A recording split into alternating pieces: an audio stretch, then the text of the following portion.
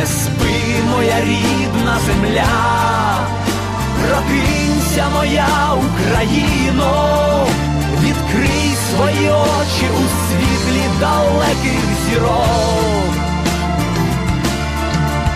Все дивляться пильно з небес, загиблі поети й герої, всі ті, хто так вірив у світле майбутнє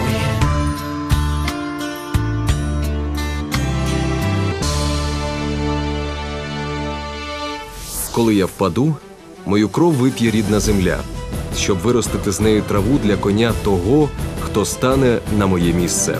Юрій Горліс Горський, безнадійний романтик, старшина армії УНР, чорний запорожець, заступник отамана полку гайдамаків Холодного Яру, автор роману Холодний Яр, який 30 років вів боротьбу за самостійну Україну підпільник, політв'язень, журналіст, співредактор української газети, драматург, фотограф, учитель, диверсант, парашутист, видатний український письменник. Горліс Горський це творчий псевдонім Юрія Юрійовича Городянина Лісовського. Народився 14 січня 1898 року в селі Демидівці на Полтавщині. Юрій закінчив Полтавську гімназію, а отже, він вчився разом із Степаном Скрипником, у майбутньому патріархом Мстиславом. Після закінчення гімназії він вже боєць і учасник Першої світової війни. Так сталося, що під час українізації е, військових частин Юрій одним з першим зголошується до українського війська і стає старшиною кіднотником Запорозького полку. Незабаром він хворі, захворів, і в, ці, в, в 1920 році він опиняється у Холодному Яр- Яру. Е, Його зворушують е, селяни, які опікуються ним, які постають за, зі зброєю за незалежність України. Гасло цих людей було воля України або смерть. Той час став найщасливішим періодом його життя та надихнув на створення історичного документального роману Холодний Яр. Саме у Холодному Яру молодий старшина відчув надзвичайний войовничий патріотизм місцевих селян. Серце Горліса Горського переповнилось, як згадував, якоюсь щемливою радістю. Під псевдонімом Залізняк його призначили осавулом першого курення полку гайдамаків Холодного Яру. Я вже й сам добре усвідомив собі, що коли дві нації борються, то білі рукавички мусять бути скинені. За п'ять років на фронтах довелося розрубати в бою не один череп. Але що можна піднести шаблю на ворога, який уже кинув зброю, що ворог лише мертвий перестає бути ворогом. З цим я погодився лише тепер, на цьому клаптові української землі, який треба було відстояти або загинути. На власному прикладі Юрій переконався, що гуманізм до ворога обертається новими українськими жертвами. Так він подарував життя полоненому начальнику міліції, відпустивши його, а той віддячив, викликавши полк червоної кінноти. Бій завершився великими втратами для холодноярців, а сам Залізняк потрапив у полон.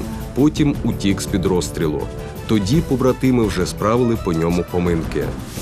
Найпродуктивнішим періодом у житті письменника став період 30-х років, коли йому вдалося видати кілька праць. Найвидатнішою роботою його, звичайно, є Холодний Яр. І Холодний Яр це не тільки е, назва лісового масиву, це є символом української незалежності. Події відбуваються на теренах сучасних Черкаської, Кіровоградської та Вінницької областей у Києві, Полтаві і на території тодішньої Польщі.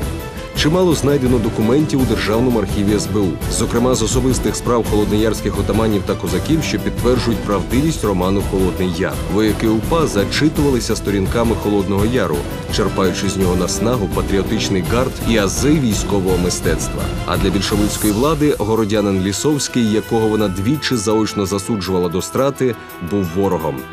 Далі була боротьба за Закарпатську Україну. Одна з газет невдовзі надрукувала повідомлення, що Юрій Горліс Горський загинув. Вже вдруге друзі ховали його. На початку війни Юрій формує у Фінляндії відділ з українців для боротьби за звільнення України від більшовиків. Той час відобразив у двох статтях: Фінляндія та подорожні зигзаги, в яких оспівав велич фінського народу, котрий весь як один став на захист свого національного буття. У червні 1942-го здійснюється заповітна мрія Юрія Горліс-Угорського. Він повертається до Холодного Яру. То була радість повернення на повстанські стежки молодості та одночасно розпач від вигляду руїни, до якої довела Холодноярщину радянська влада за якихось два десятиліття. Тож на могилі головного тамана Холодного Яру Юрій Горліс-Горський згадав попередження Симона Петлюри про те, що зовнішній ворог був би не страшний, коли б ми перемогли ворога внутрішнього, незгоду між собою, та коли б мали більше почуття відповідальності перед Україною. І з наступом Червоної армії почався шлях Юрія на захід. Після війни Горліс Горський опинився в Німеччині в таборі для переміщених осіб ДІПІ. Там розгортає активну політичну діяльність, стає співзасновником Української революційно-демократичної партії та поповзли чутки, що Горліс Горський запроданець, агент більшовицьких, польських та німецьких спецслужб. Посипалися страшні погрози. Юрій Горліс-Горський, якого не брала ворожа куля, загинув у новому Ульмі 27 вересня 1946 року від рук своїх, ставши жертвою політично-корпоративних пристрастей. Але й смерть не зупинила воїна письменника.